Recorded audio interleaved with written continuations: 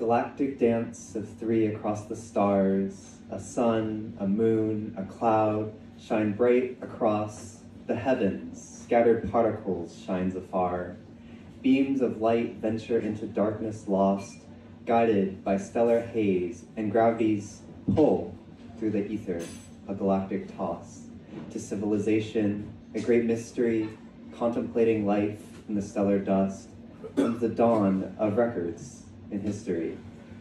Of paper and pen, of iron red rust, mankind's origins recorded in deep etches on rocks, evidence of deep lust for life in this intergalactic heap of our mother universe fast asleep.